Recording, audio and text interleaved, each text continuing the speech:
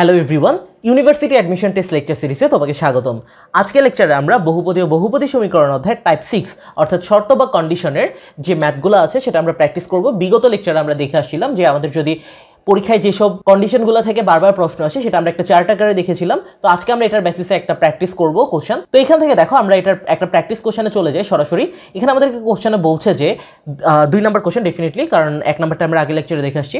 X square minus b x plus c equal to zero এটা একটা সমীকরণ, এবং x square minus c x plus b equal to zero সমীকরণের মূলগুলোর মধ্যে কেবল একটি ধ্রুবকের পার্থক্য থাকলে তাহলে কোনটা সঠিক হবে? প্রথম অপশনে বলছে যে b plus c equal to four পরের অপশনে বলছে b plus c equal to one এরপরের অপশনে বলছে b plus c equal to minus one এরপরের অপশনে বলছে b plus c equal to minus four আমরা যদি একটু রিক্যাপ করে আসি, এই টাইপের একটা আমাদের কন্ডিশন পড়ে আসছিলাম, সেটা ছিল, দেখো, এটার সাথে আমরা রিলেট করতে পারি।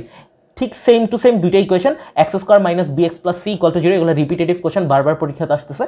X square minus c x plus b equal to zero এর মূলদার পার্থক্য একটা ধ্রুব রাশি হওয়ার শর্ত হচ্ছে b plus c plus four equal to zero তো এটা দিয়ে কিন্তু আমরা খুব ইজিলি এটাকে সলভ করে ফেলতে পারি। আমরা just b plus c plus four equal to zero যদি অ্যাপ্লাই করে দেখো b plus c plus four equal to যদি জিরো হয়, তাহলে আমরা এখান থেকে কিন্তু খুব ইজিলি লিখতে পারি b plus c equal to minus four তাহলে b plus c equal to minus four যেটা হচ্ছে ডি নাম্বার অপশন আছে। তাহলে ডেফিনেটলি ডি নাম্বার অপশনটা হবে আমাদের আনসার এই কোশ্চেনগুলো যেহেতু রিপিটেটিভ সো এই চারটা মনে রাখাটাই হচ্ছে বেটার তাহলে তুমি এই জিনিসটা খুব ইজিলি দাগা আসতে পারবা।